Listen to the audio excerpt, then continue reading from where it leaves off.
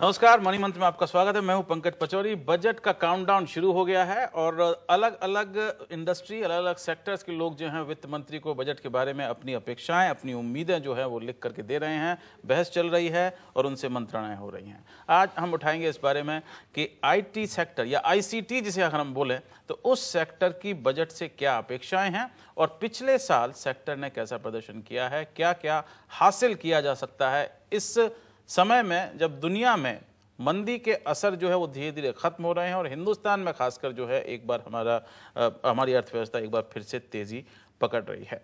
और हमारे साथ बात करने के लिए दो खास मेहमान यहाँ पर मौजूद हैं।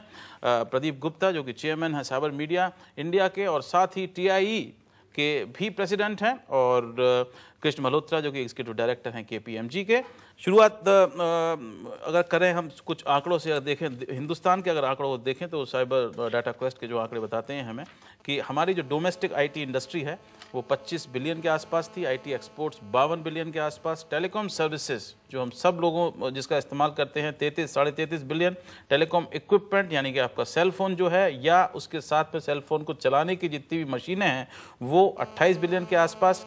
देखें आप उसे तो टोटल आईसीटी का मार्केट जो है वो एक सौ उनतीस बिलियन डॉलर के आसपास हिंदुस्तान का है जो हमारी कुल जीडीपी का ग्यारह फ़ीसदी जो है वो कुल जमा में बनता है। आ, दुनिया से अगर इसको लगाएँ तो अभी भी हम बहुत छोटा जो है हमारा हिस्सा उसमें अभी भी है और अभी भी हिंदुस्तान जो है उसमें बहुत ज़्यादा आगे बढ़ने की क्षमता है। अगर हम 2011 को उठा के देखते हैं तो इस 2011 में कौन से क्षेत्र हैं जिस पर हमको ध्यान देना होगा, जिसमें कि ग्रोथ जो है वो हमारी ज़्यादा हो सकती है और जो सात फ़ीसदी का आंकड़ा जो हमारा ग्रोथ का पिछले साल रहा है, जो कि मेरे ख्याल में सबसे खराब साल आईटी इंडस्ट्री के लिए रहा, वो और मजबूती पकड़ सकता है। तो ये खराब साल जो रहा, ये तो एक, जो एक इंटरनेशनल मंदी थी, उसकी वजह से रहा। लेकिन उसमें भी अगर हम सात प्रतिशत की हमारी ग्रोथ रही है तो बहुत अच्छी बात है। तो वो एक स्ट्रेंथ दर्शाती है। डोमेस्टिक मार्केट जो था, वो हमारा, वो बड़ा स्ट्रांग ग्रो हुआ। एजुकेशन सेक्टर गवर्नमेंट सेक्टर इन कई सेक्टर्स के अंदर बड़ा अच्छा ग्रोथ रहा।